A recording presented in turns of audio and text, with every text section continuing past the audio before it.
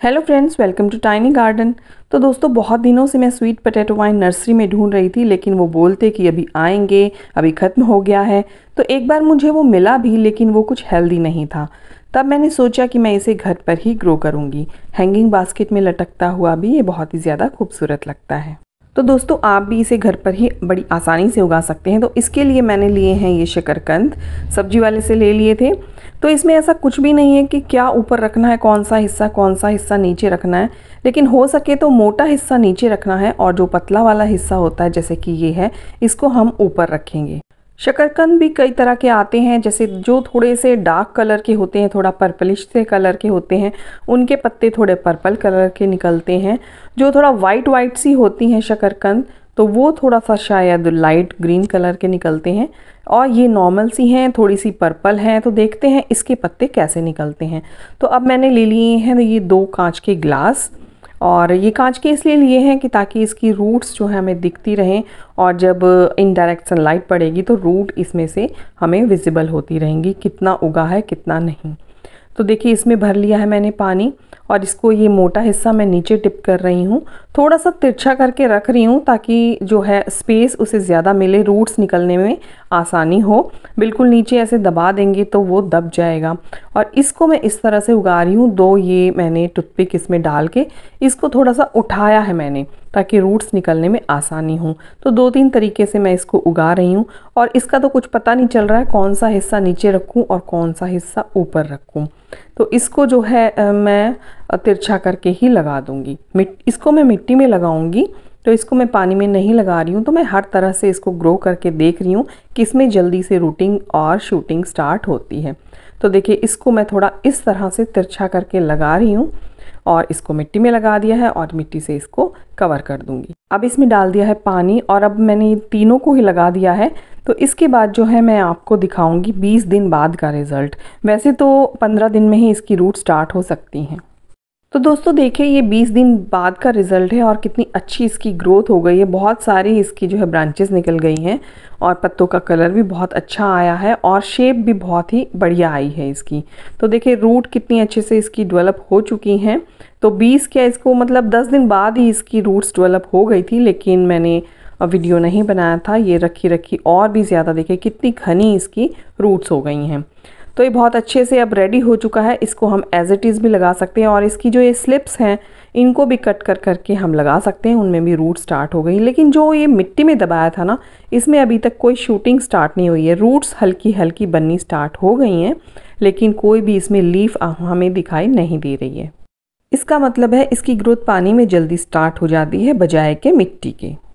जब हम इनको पानी में लगा रहे हैं तो इनके पानी का जो है लेवल मेंटेन रहना चाहिए। अगर आधा ग्लास भरा है हमने तो हमेशा आधा ग्लास भरा रहना चाहिए और उसे हर हफ़्ते चेंज करते रहना चाहिए। तो देखिए, अब ये इस स्टेज पर आ गई है कि हम इसको सीधा मिट्टी में लगा सकते हैं। या तो इसकी स्लिप्स काट के लगा लें या ऐसे ही लगा सकते हैं। तो मिट्टी मैं हमेशा यही लेती हूँ, जब भी कोई नया प्लांट लगाती हूँ तो सॉइल कोकोपीट सैंड और कंपोस्ट को बराबर भाग में मैं लेती हूँ और उस मिट्टी में मैं लगा लेती हूँ। और जो भी फर्टिलाइज़र वगैरह चाहिए होता है, वो मैं बाद में ऐड करती हूँ। तो देखिए, अब इसकी या तो स्लिप्स काट के लगा लें या फिर अगर इसको सेम ऐसे ही लगाना है एज इट इज़ लगाना है ना तो आपको बड़े कंटेनर में इसको ग्रो करना पड़ेगा, ताकि नीचे छोटे छोटे शकरकंद भी बन सकें। लेकिन हम तो टेरेस गार्डनिंग करते हैं तो हम, हमारे पास इतना स्पेस नहीं होता है कि हम बड़े से पॉट में लगाएँ। तो पिछली बार मैंने बड़े से पॉट में लगाया था, एक ग्रो बैग में लगाया था तो मुझे थोड़े से शकरकंद भी मैंने हार्वेस्ट किए थे। तो अब की बार मैं इसके सिर्फ़ स्लिप्स काट के लगा रही हूँ। देखिए, इसमें रूट नहीं है, फिर भी इसकी रूटिंग स्टार्ट हो जाएगी, क्योंकि इसकी रूट्स जो है हर नोड एरिया से स्टार्ट हो जाती हैं। और किसी किसी में ये रूट्स हैं तो ये और भी जल्दी ग्रो हो जाएगी। तो देखिए, इस तरह से आप पूरी हैंगिंग बास्केट को भर सकते हैं और बहुत ही वो बुशी हो जाएगी। अब सिर्फ़ ये बचा है तो इसको भी आप लगा सकते हैं किसी कंटेनर में।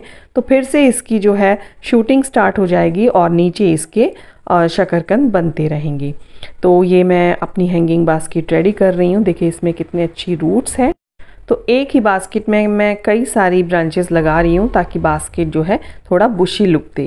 अब जो मैंने ये शकरकंद उगाई है तो इसके पत्ते थोड़ा अलग डिज़ाइन के हैं और जो मैंने पहले पिछले साल उगाई थी, उसके पत्ते थोड़ा अलग डिज़ाइन के हैं, वो मैं आपको दिखाती हूँ। तो ये शकरकंद मैंने पिछले साल उगाई थी और इसके पत्ते आप देख सकते हैं, थोड़ा सा डिफरेंट साइज़ के हैं। और शेप भी अलग है इनकी, लेकिन अब जो लगाए हैं वो एकदम डिफरेंट है। तो अब मैं इसमें जो है इप्सम सॉल्ट और थोड़ा फंजीसाइड मिला हुआ पानी इसमें दे दूँगी, ताकि ये शौक में ना जाए, क्योंकि अभी अभी मैंने इसकी कटिंग काट कर लगाई हैं। तो उससे जो है एप्सम सॉल्ट से ये ग्रो करने में इसको मदद होगी। तो अब देखिए, ये हो गई है मेरी हैंगिंग बास्केट रेडी और बहुत ही खूबसूरत लग रही है तो इसको हम हैंग कर देंगे। तो अब इसकी थोड़ा केयर की भी बात कर लेते हैं। तो खाद इसे ज़्यादा नहीं चाहिए। मैं तो हमेशा ही अपने मनी प्लांट पर भी उपले का लिक्विड फर्टिलाइज़र देती हूँ। सेम इसको भी दें ताकि जो इसका फॉलीज है वो ग्रीन और बहुत ही बढ़िया रहे।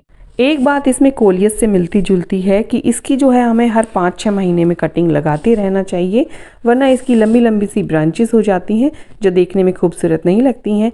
पीछे के पत्ते झड़ते चले जाएँगे और लंबी लंबी सी इसकी टहनियाँ बस आगे बढ़ती रहेंगी। देखिए, इस बास्केट में भी मैंने थोड़े दिन पहले लगाई थी ये स्वीट पटेटो और इसमें अजवाइन और मनी प्लांट भी लगा है। तो देखिए, लग रहा है ना खूबसूरत?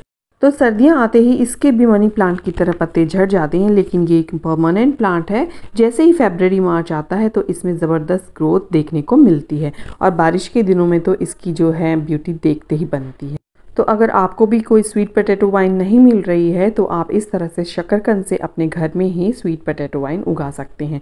तो देखिए, ये हो गई है लंबी लंबी ब्रांचेस ये मेरे फ़र्स्ट फ्लोर से नीचे तक आ रही है। तो अगर हम इसकी ट्रिमिंग नहीं करते हैं तो इस तरह से लंबी लंबी इसकी ब्रांचेज़ हो जाती हैं। तो अभी तो हमने शकरकंद की स्लिप्स काट काट के हमने अपनी हैंगिंग बास्केट रेडी की है, लेकिन अगर आपके पास पहले से प्लांट है, ये ऑर्नामेंटल प्लांट है या कोई भी इस तरह के फॉलीज प्लांट है आपके पास शकरकंद वाला तो उसकी कटिंग लगाना भी बहुत ही आसान है। इस तरह से इसके हर नोड एरिया से इसको रूट स्टार्ट हो जाती हैं। तो आपने कटिंग कुछ भी काटनी नहीं है सिंपली इसको, इसकी ब्रांच को मिट्टी में इस तरह से दबा देना है और थोड़े ही दिन बाद ग्रोथ भी स्टार्ट हो जाएगी रूट भी बन जाएँगी। तो आपने थोड़ा सा पीछे से कट करके इसको नए जो है गमले में लगा देना है। तो देखिए इस तरह से मैंने इसके कई गमले बना लिए हैं। एक दो ही प्लांट मैं लेके आई थी और कुछ मैंने अभी ये शकरकंद से भी उगाए हैं। तो इसकी जो है इस तरह से इसकी इसीलिए जो है आ, पीछे से इसके कुछ पत्ते डल से हो जाते हैं तो इसीलिए कोलियस की तरह हमें इसकी कटिंग लगाते रहना पड़ता है।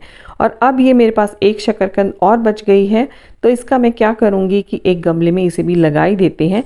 वैसे अगर बड़े से गमले में लगाएँगे तो नीचे जो है शकरकंद भी हमें हार्वेस्ट करने को मिलेंगी थोड़े दिन बाद।